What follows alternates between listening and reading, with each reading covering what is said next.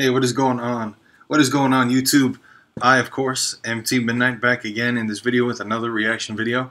This is going to be Godsmack. I did the first signal, signal, the first single, which was called Bulletproof. I really liked the song. A lot of people said it was like, in eh, a different direction. It was somewhat a different direction, but you gotta understand, you have to change with the times.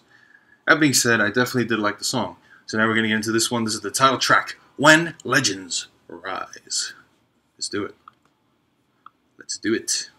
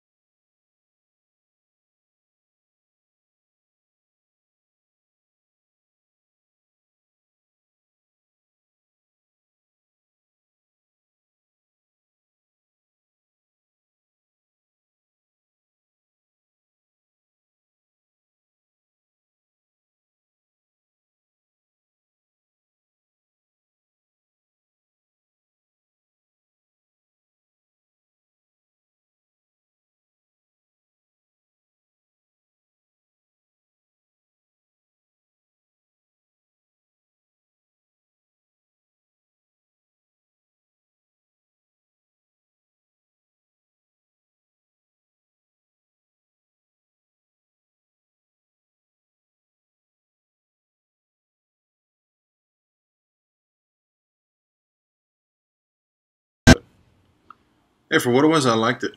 I, I did like it. It doesn't sound. It definitely does sound like them, but it doesn't. I guess have that that old old uh, sound of them. Maybe I guess. Um, but you know, you got to move, change with the times. And in fact, you want to know they've been. I think they've been successful with this change because this particular song, actually, "When Legends Rise," was used on WWE Greatest Royal Rumble.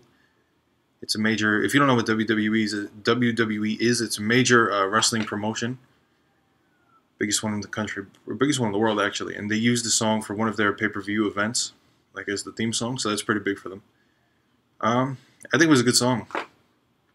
I uh, the only thing I thought it could use is like a guitar solo. I think it was missing like a little bit of a, a guitar solo probably, but would have made it better. Could have been a little bit longer with the guitar solo added instead of just you know, but just my opinion. Let me know what you guys think in the comments below. Don't also forget to join the Midnight Club. Like, comment, and subscribe. Let me know down below what did you think of the video. You want me to do more of these kind of videos? You want me to do different videos?